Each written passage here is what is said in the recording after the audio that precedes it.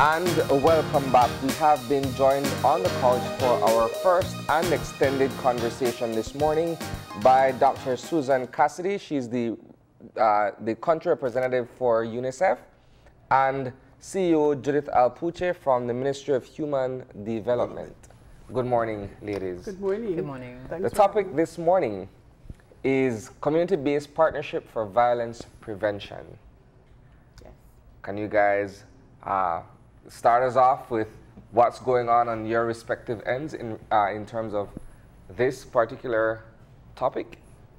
Sure, sure. I'm happy to kick off and good morning. Mm -hmm. um, thank you for having us. Um, I think just to say what we um, recognize uh, is that over the last couple of months especially, we've seen constant reminders of the importance of engaging with communities at the community level to make sure that we create um, an environment that is more protective um, and supportive of our children. We've seen incidents of violence that have been targeted at children or incidents of violence in which that have affected children um, directly on the streets, in their homes, and at UNICEF, um, reflecting at all the great work that we've been doing over the years um, with the government of Belize and with other partners, we have identified successes in terms of contributions to evidence, to strengthen policies, national programs, um, and to work to strengthen civil society organizations so that they can support community level action. But we recognize an opportunity that we need to respond to right now collectively and that is um, the opportunity to really engage quite directly and to, to motivate and leverage the incredible resource that we have in communities themselves to partner with government, to partner with institutions, to identify solutions that address the problems that they're facing. And that's what um, this partnership that we are um, we're trying to, to support is about, um, engaging that, that resource um, that is the communities around Belize um, so that we can work with them to identify what is it that is driving, enabling, and, um, and, and, cultivating a tolerance or continuance of violence, and what can we at the community do to respond? Who do we have that can mentor?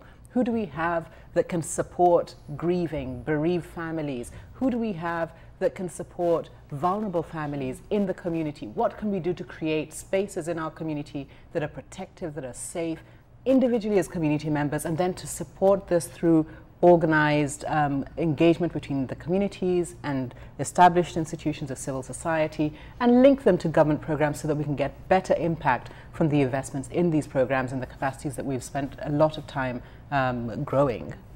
Is, is this a shift um, from is this a new approach, Judith, in dealing with the problem? Because it appeared in the past that the approach was more so, what can the, um, the institutions do to get the communities uh, results? This seems to be a paradigm shift to where can we empower the, the community to actually help themselves? I don't think it's a paradigm shift. Really, it's a realization of a, of a methodology that we've wanted to to employ, but perhaps not having the resources. Mm. Um, you know, we've engaged um, NGOs from, and I'm talking from the government perspective, um, engage NGOs, engage maybe more community-based organizations. But what this partnership with UNICEF really allows is really an envelope of, of support, technical support and mm -hmm. funding for real grassroots organizations or real or persons, if you will, to be who, who have good ideas, who have good skills, etc., to really um, contribute to, to the common good, to really moving these issues along, really addressing the, the real, all the multiple facets that drive violence. Um, we talk a lot about this in terms of, you know, uh, government cannot do it alone, mm. and that's that's a definite. Um, and so it's really beyond NGOs and and, and um, organized bodies like that, if you will, and really tapping into.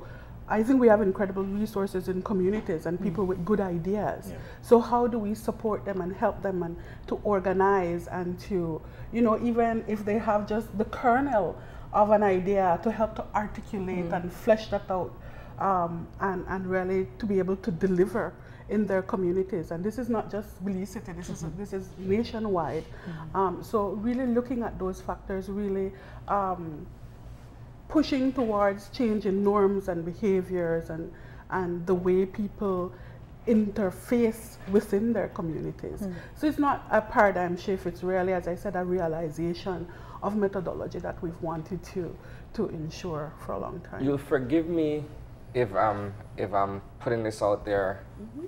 It's just a thought that, that's weighing on my mind. You mentioned the grassroots movement, mm -hmm. right? And being able to tap into those resources and being able to provide the kind of support that they would need. So it, it would seem as though it's more like from a ground up approach.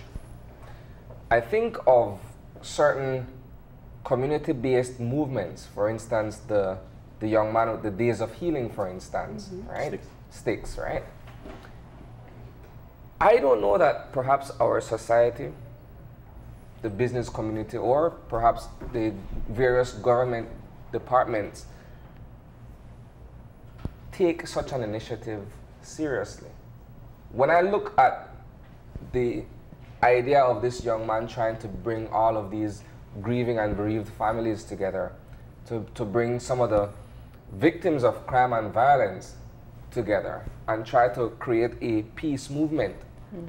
And the fact that on occasions I've heard him make an appeal to various organizations and not necessarily being able to get the kind of support that perhaps he would want in terms of, you know, effectively carrying through his plans or whatsoever.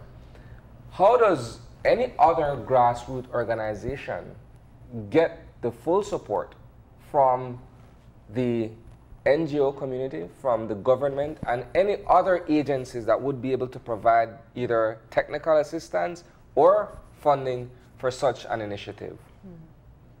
If I could jump in, um, just over a week ago, um, we at UNICEF issued um, what we called an innovation challenge. We issued a call um, to community or grassroots-based organizations or individuals exactly like the program Days of Healing that you've, um, that you've described because we recognize that there is a challenge for many grassroots organizations in accessing resources to, uh, to, to, conduct the kind of work that, they, um, that they've tried to, to design and develop.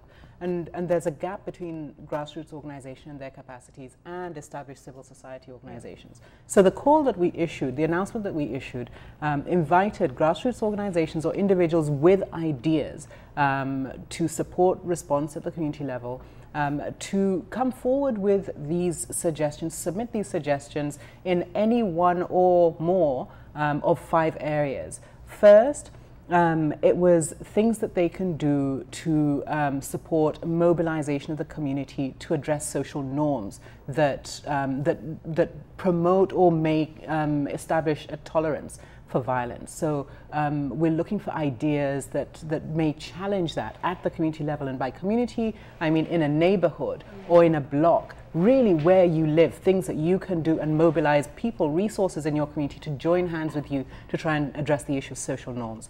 The second was um, ideas around how to effectively bring community members together to develop action plans that can, one, identify the issues that contribute to violence in your neighborhood and solutions to these that, um, and this action plan would be um, something that you can implement with members of your community.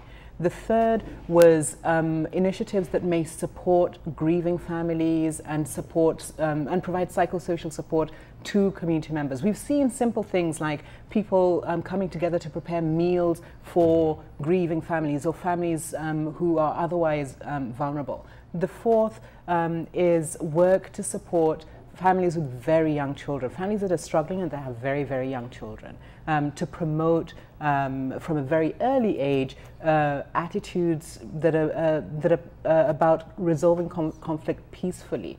Um, and then the, four, the fifth one is working with teenagers, working with teenagers to, to support them to learn about conflict resolution, violence prevention through play, through art, through music. So we've invited grassroots organizations to present these ideas. What, what we will do further is select the best ideas that come up from across Belize and link these grassroots organizations to establish civil okay. society to, okay. to bridge the gap in terms of capacity to, through mentorship to ensure that these grassroots organizations can learn from established civil society how to um, build your budgets, how to advocate, how to document, how to monitor, and how to sustain. Because ultimately, what we want to see is these community initiatives really being sustained over time.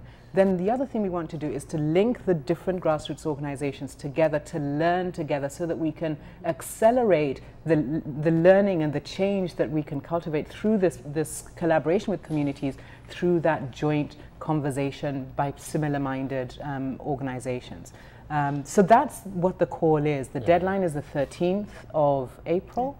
Um, and it is targeting exactly the kind of, of, grassroots level organization to tackle any of those five ideas. And the purpose is ultimately to, um, to expand those lessons and to support improvement rapidly in our own um, program supported by government at a national scale to achieve scale and sustainability. I'm, I'm glad, I'm glad you, you, you dealt with that aspect because I was wondering, when you look at a lot of these grassroots based initiatives, like Stixperry, like Mr. Stamp, mm -hmm. like DARA, um, a lot of times they don't have the infrastructure that right. the human um, services mm -hmm. department would have. They don't have an accountant. They don't have a working plan. Right. Um, but there's another aspect of it too, which is that UNICEF, I know, is very deal with accountability. Yeah. That there's a certain form you have to come in with. Yeah. Is there any support for persons who have the idea? So I just have a, a three sentence in my head. Yes. I, I, want to come in and I want to uh,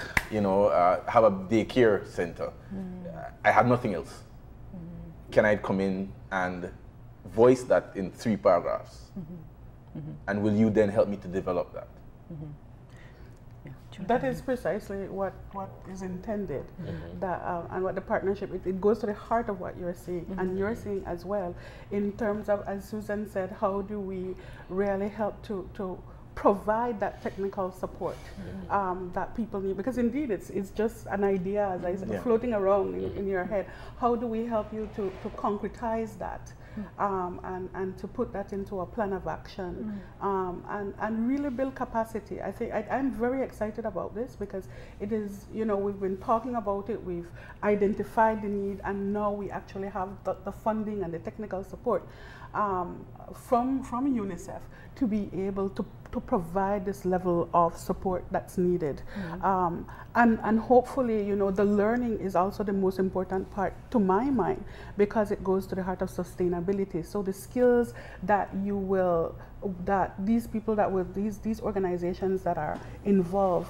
the skills that, that we hopefully will transmit through the more um, established organizations who know how to, you know, keep your invoice or mm. that sort of thing so you can account to the funders, which is oftentimes um, the barrier to mm people accessing funds yeah. because people want to know, yes, you have a good idea and you have a good heart, mm but how, how do I know that my money is well spent or how can you, you know, account for the money? Mm. So this is the idea of build capacity in, in that that way as well. Just just come in with your ideas and you know so and and oftentimes you, you talk about um, teams and, and people play different roles. Mm -hmm. You know, so you, you you have this person in the community who has a good heart, who can who will work hard, who will whatever, but is not articulate enough to to be filling out a form or mm -hmm. something. So, so yeah. this is the, the level of support that we're looking at also. Just come with your ideas. Mm -hmm. um, I know UNICEF has tried to simplify the forms, and we've had this discussion about, well, it might not be simple enough, no. but that should not be a barrier. Mm -hmm. You know, that should not be a barrier. Um, and that's the whole idea, as I said, you know. Um, it's, it's incredible as you, as you talk to people, as you listen to people, we were sitting side by side, for instance, at the Women's Awards, mm -hmm. and we're just awed by just how much resources we have um, in our country. People toiling away, doing their little thing mm -hmm. um, to to to just towards the common good mm -hmm. or just to uplift themselves and their families mm -hmm. very quietly in mm -hmm. their little corner of the world, in their little corner of Belize. Mm-hmm. Um, and this is the, these are the types of people that we're hoping mm-hmm. um, to be able to tap into and to, to mobilize. Mm-hmm. Because if the changes are going to happen it, it really needs to happen at that community neighborhood mm-hmm. level, you know, um, because in as much as government or civil society, more organized NGOs try to provide services, it's really the people in the communities interfacing day in, day out with, with their own, with the children that they, they have seen born and are growing up. Mm -hmm. um, these are the people who can make the difference. Mm -hmm. I, mm-hmm. I really do believe that. And um, I'm, I'm hoping then that we can look at, okay, so how can we plug these people into the, to the broader network? Or not in, not in a controlling way, mm but in terms of, of counting them towards what we're trying to, to accomplish in terms of ensuring peace in our neighborhoods. Mm there, there's a certain amount of irreconcilability though, mm between big organizations like UNICEF like the Ministry of Human uh, Development, mm -hmm. and somebody who, of their own heart, mm -hmm. of their own resources, on some heroes, put these programs together. Because I know for a fact that Mr. Stamp, for example, he's not looking at any structure. Mm -hmm. um, how do you factor in that it takes a certain personality to do these community-based initiatives, mm -hmm. which is, to my mind, completely opposite from this structured, I go into work from 8 to 5, I have a budget, you know, and I get it done. Is there going to be any support in terms of um, getting out of that mentality that it's my thing, I do it at nine today if I want, tomorrow I don't do it if I don't want, I mm. go and mm. beg for stuff here. How do you change the psychology of the kind of person who'd be interested in these community-based projects? Mm. I'm not sure that we are trying to change, change, the psychology of any individual. I think what we're trying to do is to reach out to those individuals who really have ideas that they are um, that they are committed to trying to implement and uh, just looking as, as Judith was saying for a little more additional support to make it work to make it last.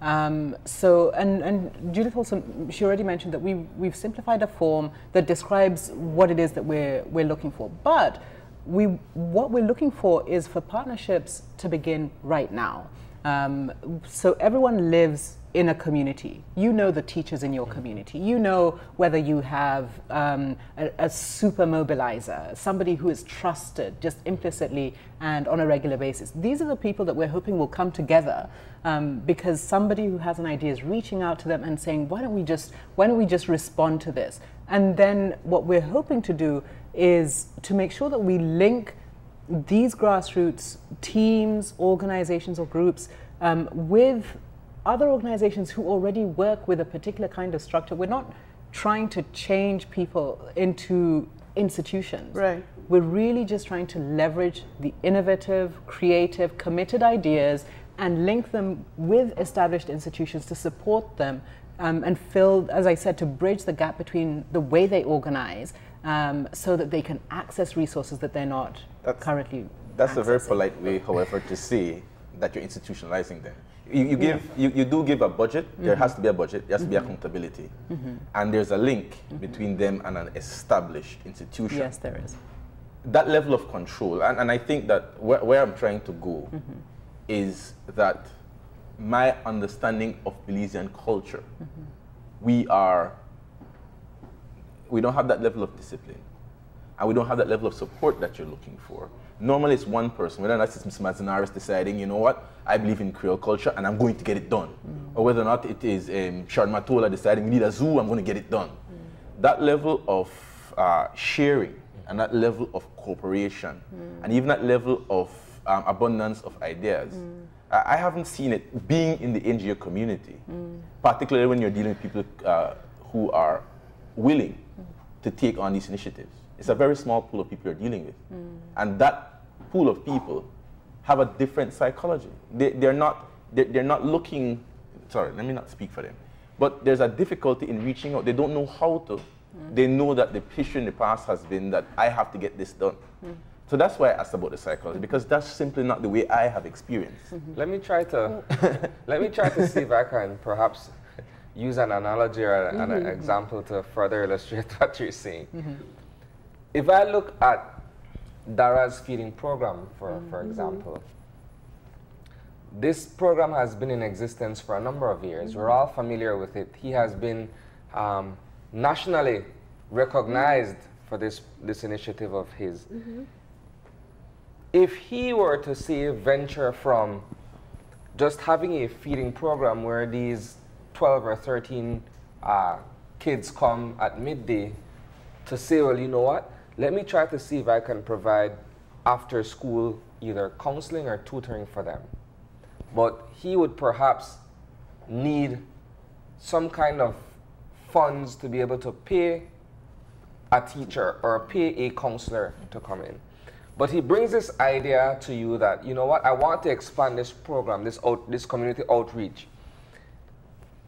You're saying essentially that through this particular program, he would be able to fill out that form, bring the, the, the idea and the application to you guys, and you would be able to assist. Is that, I'm trying to understand. the dynamics there. Yeah, in layman, as, as layman as it gets, mm -hmm. how that works. Mm -hmm. So exactly, we're looking for, for programs to, to present mm -hmm. exactly how they would pull together ideas, mm-hmm. but with the objective of contributing to any one of those five areas that I talked about, yeah. either social norm change mm-hmm. or support to vulnerable families, mm-hmm. or organizing communities to plan together, or working with teenagers um, mm-hmm. through art. So that's the kind of thing we're looking to see come together, yeah. but that would be implemented by community members themselves in their mm-hmm. communities. Um, so I think maybe to extend to extend the the um, response to the question that you had asked mm-hmm we know that we will probably not get and you know we may not get an overwhelming flood mm. of responses yeah.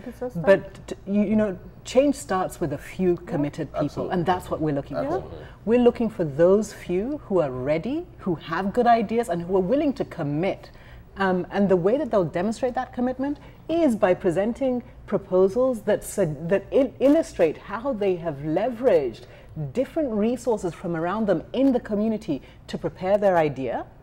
And, and they're going to be invited to come and present that idea and tell us who they'll work with in the community, what they're going to do, how it links to any one of those five areas that we listed, and ultimately how it's going to contribute towards preventing violence and supporting vulnerable families in their community. And they have to, um, to confirm their commitment to work with um, established civil society organizations and UNICEF and other partners for purposes of mentorship and growth, for purposes of, um, of documentation and sharing of these lessons so that we can contribute to change at scale and change that's sustained through national programs and investments um, through the government's programs. And I think that there are more people than, than you think. Mm -hmm. Because people are, in, as I said, we, we encounter people, I'm always surprised. Uh, you just encounter people doing their own thing very, very quietly. Yes. And we have examples. You just talked about Dara and this young man. And um, I always remember Herbert Wilshire, mm -hmm. um, My Neighbors and Me. Mm -hmm. And that was just him just organizing. He won a, uh, this was a couple years ago, he through UNICEF, he won an award um, from San Marino, the country of San Marino. I had to go look on the map to see. But you know, I think we have more people, and, and so it's really, and maybe some people will not want to come forward, but it, it will, I, you know, when, when there is success, just one or two or three people, mm. people will sit up and say, oh, I could do that in my community, or I could do so and so. So, so you have to start somewhere. Um, and, and I know it's maybe a concept that people are not used to mm. um, as, you, as, you're, as you're articulating, but I think that there will be some brave souls that will come forward. Um, I've already seen like on Facebook some of the some of the discussion, you know, yeah. um, people tagging other people to say, you know, and I think it, it also provides a space. There are many of us who may not be living in the at-risk neighborhoods or mm -hmm. communities, mm -hmm. but want to contribute, yeah. mm. you know, and so this is a space, this is an opportunity, and you have like-minded people mm. that, that you could mobilize, you know, maybe a group of professionals or, or so forth that want to do something in their community and, and are not quite sure how to apply their skills. So I think we have more people than you. Is there any consideration given to the fact that some of these grassroots initiatives are short-lived? Like, yeah. you have, I can think off the top of my mind, you had Belizeans for Justice at one point. Mm -hmm. It rallied all these these mm -hmm. grieving mothers, but it just died a natural death. That's why the linkages are so important, mm -hmm. and we talk about the support um, and, and to help people to build capacity, etc., mm -hmm. um, to, to, to look at sustainability factors and so forth. Because a lot of times, you know, there's this burst of energy, but mm -hmm. because people mm -hmm. may not have all the, the skills or are not linked into supportive networks, frameworks that are more organized, that it you know, you kind of run out of steam and energy, ideas, resources. Mm-hmm. Um, and so the idea is to really look at those um, try to address those factors mm. that often um, prevent or, or are barriers mm. to these excellent ideas and excellent initiatives sustaining themselves. -hmm. You know, um, I, I think I think any initiative is important to start off with the way people think. And, -hmm. You know, in Belize we have a taco stand mentality. What is that? Taco stand mentality is that one person puts up a taco stand and nobody opens an orange juice um, stand. Everybody mm. starts to sell tacos. -hmm. And so um, that, that's why I, am again, you know, maybe trying to speak indirectly to the persons who are listening mm. to say, listen, this is an opportunity for you to come up with a new idea, mm -hmm. um, something that you've had on your heart for a while. My concern was more um, in terms of, if I were to play devil's advocate, to say that a lot of these initiatives already somehow exist -hmm from an institutional standpoint. So if we're talking about somebody who wants to deal with grieving mothers, then human services surely has counselors there. Or if we're dealing with crime, there's the police who have um, community um, policing. If we're dealing with whatever there is, um, there is an institutionalized, established version of it. Mm -hmm. Does this mean that those institutions are underperforming? or that the strategies that they have been using mm. for these very same initiatives have not been successful. I don't want to use the word failing.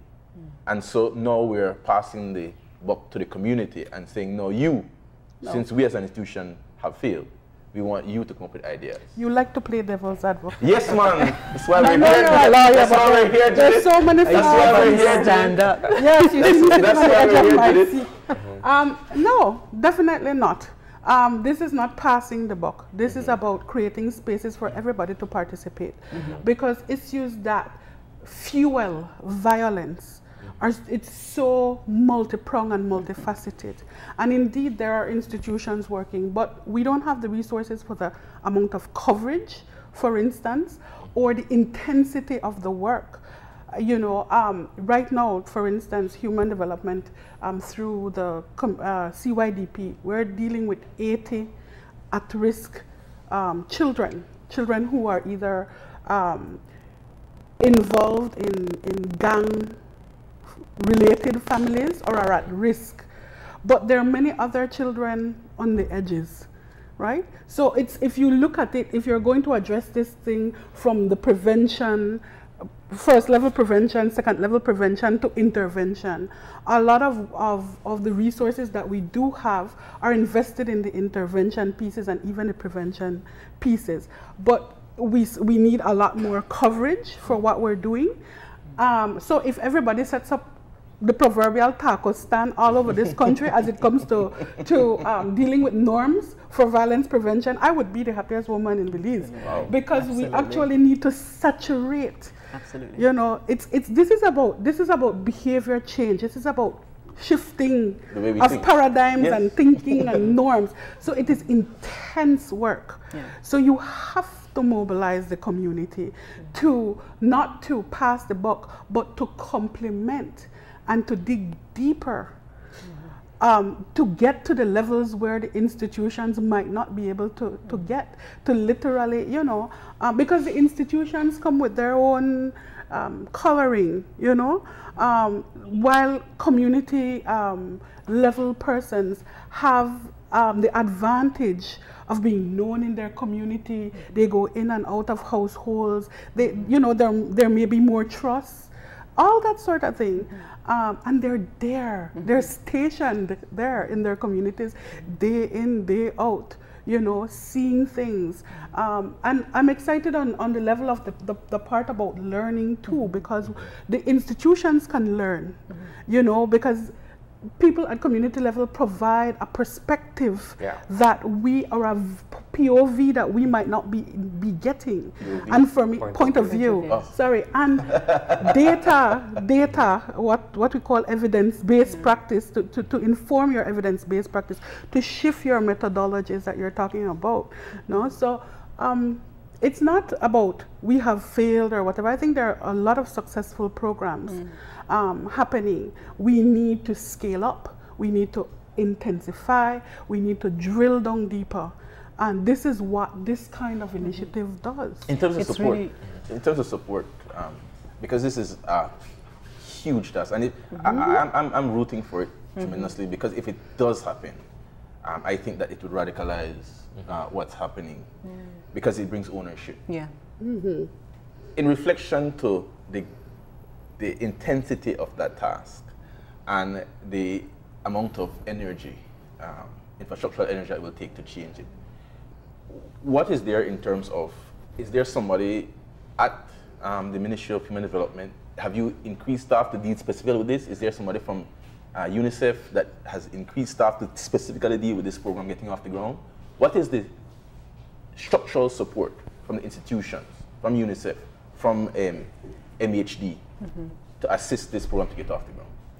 Yeah. Um, so fortunately, UNICEF um, already has a long-standing agreement with not just the Ministry of Human Development, but the Ministry of Education, the Ministry of Health, Ministry of Local Government, um, and with multiple civil society organizations whose responsibility it is through our agreements, but also whose, whose commitment um, is on their own to support exactly this kind of work. So really as um, as Judith was saying earlier, this is reinforcing and building on what we have in place. Our program at UNICEF um, is committed to supporting the, um, the, the oversight, the, from the selection process through to the follow through, the, um, the monitoring and um, linking up of the, um, the civil society organizations that, um, that will support the grassroots organizations.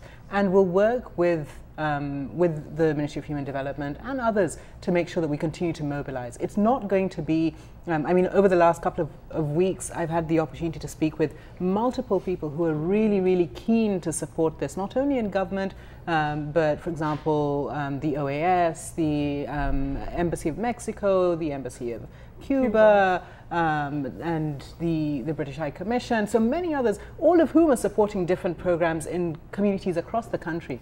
And I think, back to what you're saying, if we can excite, inform, engage, and excite communities everywhere to be aware of what they can do and how they can benefit from participating in this kind of um, in initiative to gain support through funding, through networking, through mentorship, documentation to support scale. I think that we really could achieve a huge change from this. Um, and I did want to answer your previous question about whether we're doing this because we've failed. And it's hard to, to, um, to add to what CEO Alpuche has said, but we can't achieve the successes, um, it, whether through violence prevention or just development um, across the country, without the community engagement, Right. without Absolutely. the community meeting Right. all of these institutional programs halfway.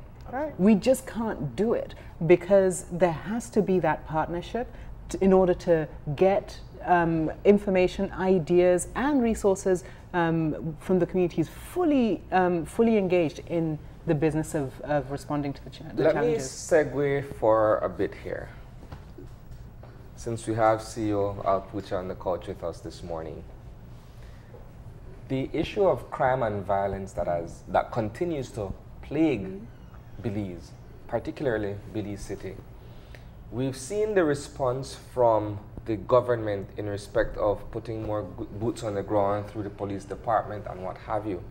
But we've long come to understand that what we're facing is a social problem. Mm-hmm. It's, it's one of the worst social problems uh, one can think of. What was or what is the position and the response from the Ministry of Human Development and Social Transformation uh, in the wake of what has been taking place in Belize City recently? Um, we have programs that are ongoing. Mm -hmm. um, it's not like we woke up with all this, and mm -hmm. um, but as I said, it's it's it's really. So let me start um, from the beginning. We have invested quite a bit of of energy, and the government has put in a lot of resources over the years in completely um, revamping our social safety net programs because it's really about, you know, it's Maslow. It's really about how do you help families to meet their basic needs in as much as possible. So, you know, introducing things like the Boost program, um, which is a conditional cash transfer program. It's something that it's, a, it's these programs throughout the world have shown that they have um, a good impact on, on a positive impact on, on reducing poverty. And we're seeing some green shoots in Belize in terms of um, having What's that? Uh, meaning successes. Um, what it is, it, it's uh, contrary to what people believe, it's not a handout. Mm -hmm. It is a social contract between the government and poor families that say, we will give you this cash transfer um, and you will then ensure that your children attend school 85% of the time, that they have all of their immunizations according to the Ministry of Health um, schedule, that if you become pregnant, that you attend um, within your first um, trimester, mm -hmm. that you attend um, antenatal clinics, um, the, the conditionality that we, we, we check on though is the school attendance yeah. in terms of ensuring that, that children go to school. And if you don't go, then we cut the benefit. Um, we don't cut it just like that. We send out us, we send out social workers to figure out what's going on, what's the barrier. Because this year, our last academic year, we saw 169 students countrywide graduating, um, and uh, contrary to what is said, it is actually we determine eligibility through a proxy means test, mm -hmm. which is a, it's a it's a mathematical algorithm. So nobody sits down and say, oh well, you and, mm -hmm. and mm-hmm. it's people do a questionnaire. It's run through this algorithm, and at the end you get a score and whether or not. Um, so that's available that we've been deploying. The food pantry program, which looks at the working poor. So this is not necessarily for the same level, but for working poor people. Um, so you get a basket of goods um, that's now with inflation, it's around $32 on the market. You pay $12 to get that, and it's basic, it's balanced, has in fruits and vegetables, etc., and, and your staples. Um, apart from that, we um, introduced as a pilot with the help of UNICEF and, and the OAS, Boost Plus. Mm -hmm. So what we're trying to do now that families have this cash transfer and, and we've, we are doing it with, it's still ongoing, so 400 families who are bo Boost recipients in Belize City. Um, and we work with them in, in trying to move them to a higher level of functioning. So we sit with them, we talk about, okay, so what are your family plans? How can we ensure that, you know, you children are registered, that, that you're moving towards um, what it is that you want to achieve with your family. Um, that, and a part of it is also um, labor activation, so training an adult member of that family or helping them to link to a, to a job. Um, we, have done a lot of job readiness um, in terms of just, you know, how do you dress, how do you, uh, how do you present mm -hmm. at a work site because many people have not gone into the labor force and they need this kind of, of information. So the Boost Plus program is, is moving families towards a higher level of functioning. Not necessarily we, we wouldn't have time to get them completely out of poverty, but to a mm-hmm. better level of functioning. Um, we have the Conscious Youth Development Program, CYDP, under us that works directly in terms of working with, with gangs um, and, and interrupting violence. And the unfortunate fact is that although we've seen a lot of bloodshed, I can tell you that there would be much more if it weren't for interventions of CYDP. They don't, they're not on the, on, on, on the TV, they're not beating yeah. their chests by, by design uh, because they have to have that trust. But they work um, in terms of, of, you know, trying to stave off um, um, violence and, and so forth within, within the gangs. We have um, attached social workers to the CYDP, um, and that's the program that I was talking about in terms of working with, with these young people. Um, mostly children, really, trying to wrap services around those families also. Um, lots of education assistance, uniform, you know, um, school fees, footwear. How do we ensure that these children are um, in school and stay in school? Uh, the, so we've been pushing towards more um, a holistic wraparound services approach um, in anything we do, whenever we come in contact um, with, with children or with families. So if it's domestic violence, if it's child abuse, if it's juvenile justice issues, um, in terms of the young people who have come in conflict with the law, um, you know, try, doing the reforms at, at the youth hostel, um, working, placing a, a social worker within the Wagner's facility to work with those young people. And we've seen a reduction in the recidivism rates. Mm -hmm. um, the aftercare programs, you know, following them once they come out of the hostel or once they come out of Wagner's to try to ensure that they're reintegrated and they don't mm -hmm. offend or they don't go into those gangs. So it's, it's quite a bit of work that we've, do, we've been doing. Um, but the is problem is though? just so, um, the needs are just mm -hmm. uh, incredible. Isn't it challenging though that while yes, you've created all these all these systems, so to speak, to be able to help, to be able to change the situation, mm -hmm. that the influence of gangs are so powerful that while yes, you've had all of these measures put in place to try to thwart young boys, for instance, from becoming involved in gangs, that at some point some of them would slip through the cracks still and, and still find themselves in a position yeah. where they've become gang members themselves? It will not never be hundred percent. And there are other entities working like Restore Belize and their metamorphosis program mm -hmm. that does a similar thing um, in terms of what we're doing with our social workers and, and working with young boys, especially mm -hmm. mentoring, etc. Um, but this is why this piece is so important mm -hmm. that we're talking about because it's really about the communities in which these children are living. Mm -hmm. um, and that's why I see this as, as an exciting prospect to, to really complement mm -hmm. and, and um, shore up what is being done.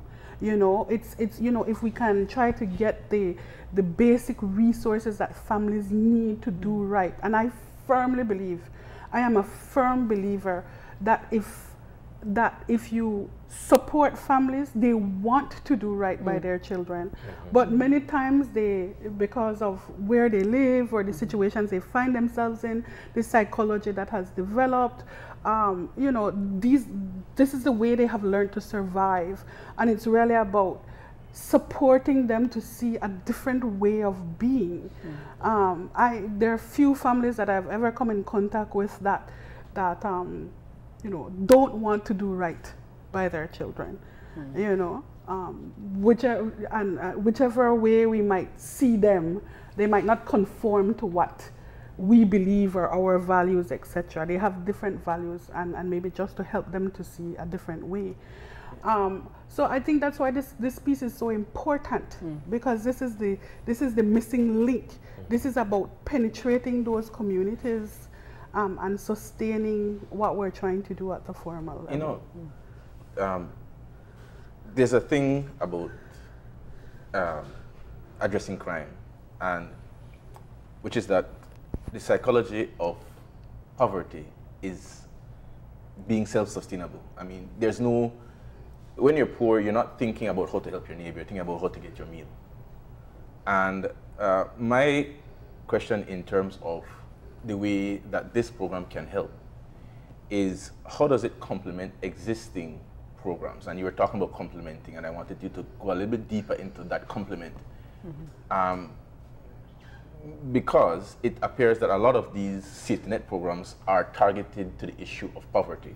So where I'm trying to help you out of poverty.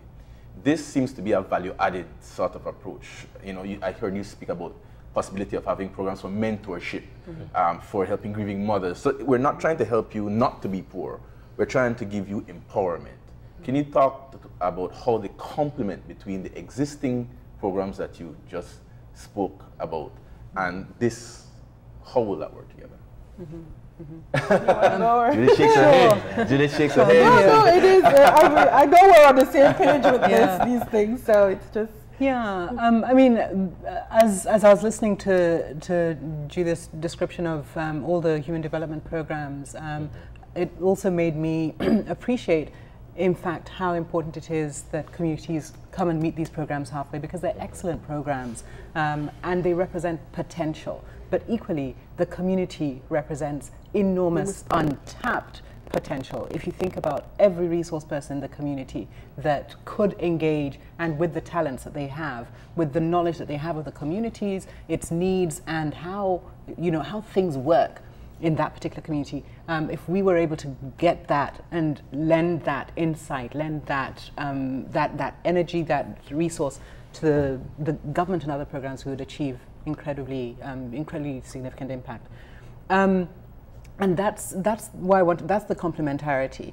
I, um, there's a saying in, in my language, I'm from Uganda in East Africa, there's a oh. saying about the night sky. The beauty of the night sky doesn't come from the moon alone, it takes the stars around it to really. I'll um, borrow that when I'm quoting. You're welcome. but I think, I think that, that that's the thing. We've, we've got communities across Belize that have intimate knowledge of the challenges. They, not just the challenges, They're but the who's who mm -hmm. and who's got what, who does what. They're teachers in the community, um, sports coaches, there are um, members of the clergy in the community who are deeply trusted by the families, who know um, quite intimately what the struggles of different community members are. There are, there are people in the community, there are students, there are children with innovative ideas um, and dreams, and putting that all together, mobilizing those different voices and perspectives so that that, that insight then um, helps to sharpen local government plans, helps to sharpen um, the, the, the quality of the programs, the counseling, the priorities that, are, uh, uh, um, that appear in budgets for the government. that only helps us intensify the impact of the investments from national programs, but it also helps to create um, to create a, a, culture. You said it earlier of shared accountability for and ownership for the out the you know what we do at the community and the results of that. So what we're trying to do is, in fact, to help build that constellation, to really um, to really unveil, identify those stars that are willing to be part of that, you know, that, that moonlit and starlit sky here. You, you spoke about budget. Yes. Is it, can I ask what is the budget? Yes. Um, what, what, if I have an idea, mm -hmm. how far can my idea go? What is the financial like the backup, mm -hmm. cap? Mm -hmm. So what we've said in um, the call is that we we're willing to provide up to thirty, um, I think it's thirty-five thousand mm-hmm. per um, grant per innovation grant. Sorry? 35,000 Belizean dollars. Belizean dollars. Wow. And the issue is this. We're That's not putting your money where your mouth is.